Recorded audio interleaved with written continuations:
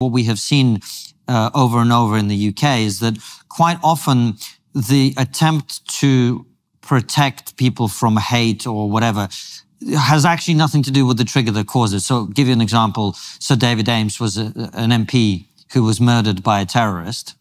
Uh, and the next day, all his colleagues went into Parliament and started talking in Parliament about how this shows that we need to tackle online hate.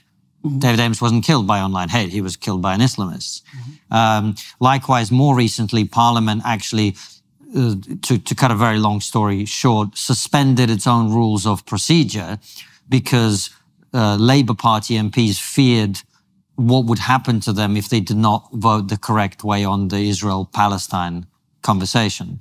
And again, following the furore that broke out from that, the argument was, well, MPs need to be nicer to each other instead of dealing with the fact that there was a mob outside Parliament who was intimidating the parliamentarians. So very often, the it seems to me that uh, a lot of the time the mind has been made up that we need to deal with online hate, whatever that means, and then whatever happens is then used as an excuse to do that.